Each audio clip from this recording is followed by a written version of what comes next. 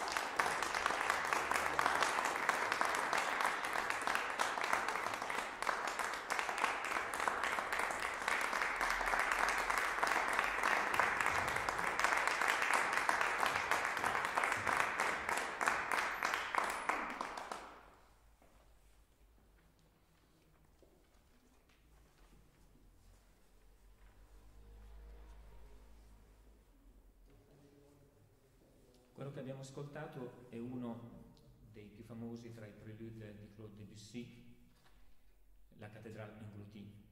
Seguirà poi il primo movimento del trio per clarinetto, violoncello e pianoforte, opera 114 di Johannes Brahms, e dopo l'intervento del presidente della consulta degli studenti chiuderà un nocturne per violino e pianoforte di Edward Bagdasarian. Tornando alla cattedrale Englouti, Debussy sembra sia stato eh, attratto da una leggenda bretone che narra di un'isola sommersa dal mare, dagli dei, a causa della malvagità dei loro abitanti.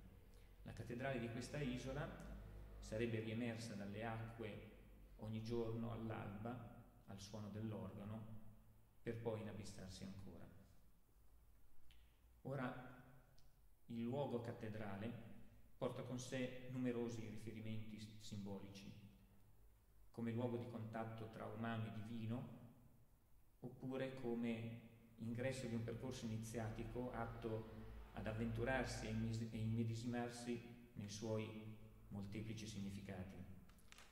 Ma la cattedrale conserva in sé anche l'immagine di pietra vivente, risultato di un'azione collettiva, di coloro che con dedizione e passione ne hanno scolpito le forme, ne hanno arricchito le pareti con bassorilievi o affreschi, ne hanno valorizzato gli spazi con sculture o eh, modellato la luce interna con eh, vetrati pieni di colori.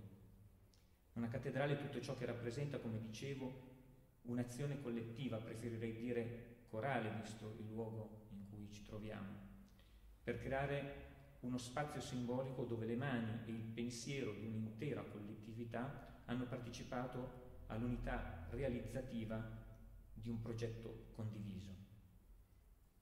Ebbene, l'immagine di questa attività manuale, artigianale, di questa attività intellettuale di un'intera comunità nella condivisione di un progetto, nell'identificarsi nel progetto stesso, può essere affiancata al concetto di nazione e al concetto di un popolo che si riconosce in quella nazione, con un'anima che non smette e non si interrompe mai nel manifestare la sua identità. Immaginare, soltanto sfiorare con il pensiero che una cattedrale, una nazione, possa essere sommersa, possa essere svilita e umiliata nelle sue prerogative è già di per sé insopportabile.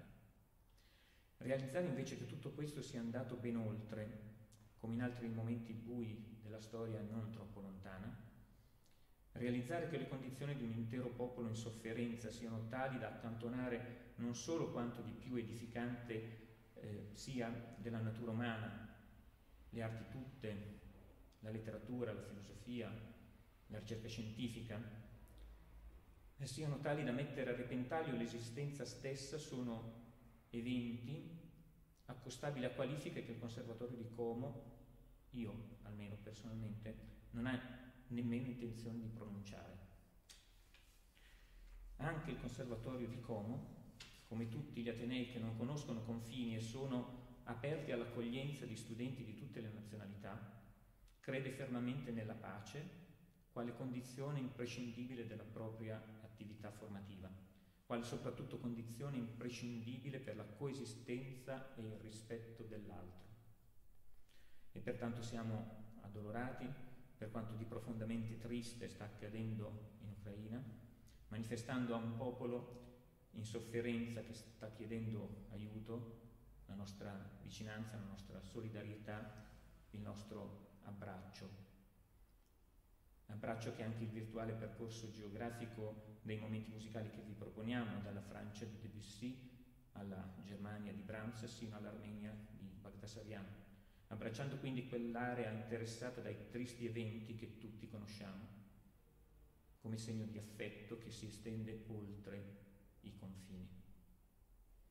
Questo appuntamento, come già anticipato il Presidente, stimolato direttamente dai nostri studenti e dalla loro consulta, ai quali va anche il mio eh, affettuoso ringraziamento, e prontamente condiviso con entusiasmo dal sottoscritto, dal Presidente e da tutti coloro i quali ci hanno aiutato e hanno dato la loro disponibilità a realizzarlo, prevede anche un'azione concreta, come è già stato anche questo anticipato. Ci stiamo infatti attivando per, per verificare le modalità di accoglienza di alcune studentesse ucraine,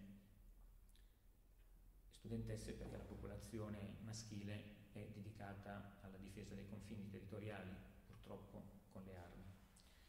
Aprendo quindi i nostri corsi per la continuità degli studi a chi non può più farlo nella terra dove è nato, dove ha cresciuto i propri affetti e dove ha dovuto lasciare i propri affetti e il proprio passato. Il nostro compito è quello quindi di essere accoglienti, di dare un messaggio di fiducia per quanto sia possibile.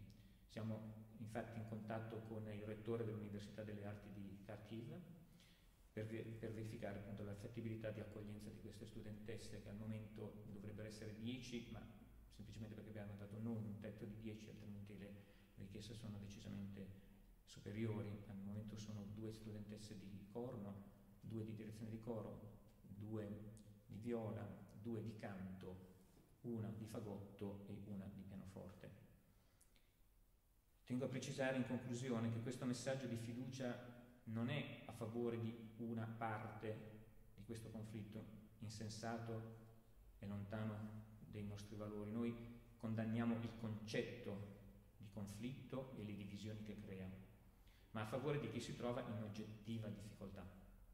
In questo momento il Conservatorio di Como non ha rapporti bilaterali con istituzioni musicali ucraine, nemmeno russe, non abbiamo studenti ucraini, ne abbiamo invece russi, abbiamo pianisti accompagnatori russi,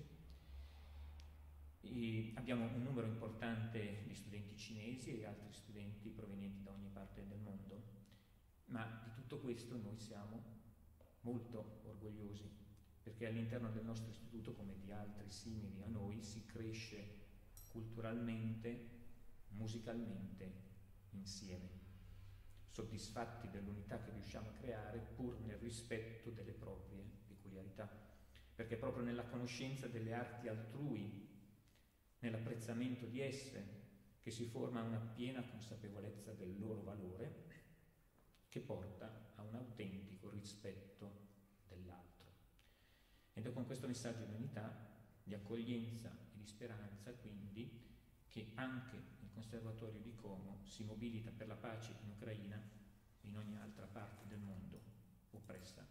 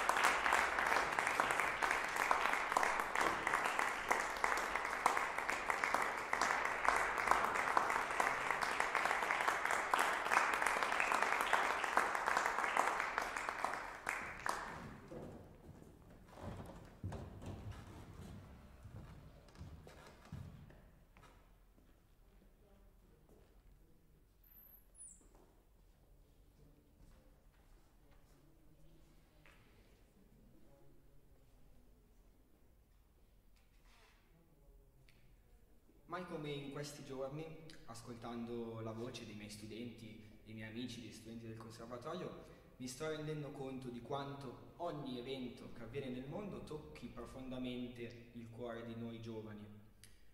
L'invasione dell'Ucraina sconvolge le nostre menti, fa sorgere dubbi non solo sul futuro, ma sull'umanità delle persone.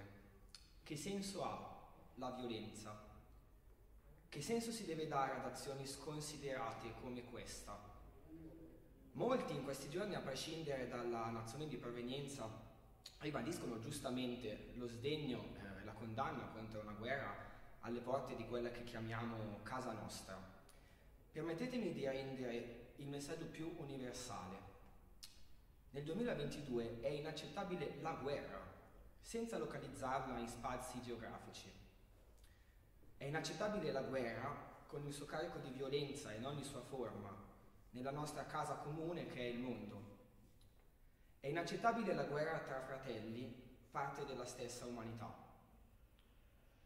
Noi studenti del Conservatorio di Como, nella diversità geografica che ci caratterizza, eh, siamo stati tutti categorici sulla necessità di organizzare una manifestazione per condannare quanto incredibilmente sta accadendo in Europa, in particolare in Ucraina, due passi da noi, a sostegno della pace. Siamo vicini ai nostri colleghi ucraini e siamo pronti a renderci disponibili per ospitarli e sostenerli, garantendo loro continuità e una sorta di normalità, convinti che il linguaggio universale della musica porti ragione e fratellanza a tutte le parti coinvolte. Come aveva osservato lo storico Robert Kagan, la giungla della storia è tornata e le sue liane vogliono avvolgere il giardino della pace in cui eravamo convinti di abitare. Sta a noi adesso schierarci dalla parte della pace, del dialogo e dell'amicizia. Concludo con una poesia scritta pochi giorni fa da Anna Crotta, una cara amica del Conservatorio di Como. Le senti fischiare, poi distruggere. Si levano grida, pianti, vite si spezzano, armi sparano, famiglie si dicono addio. La guerra, inspiegabile, impotente, inutile.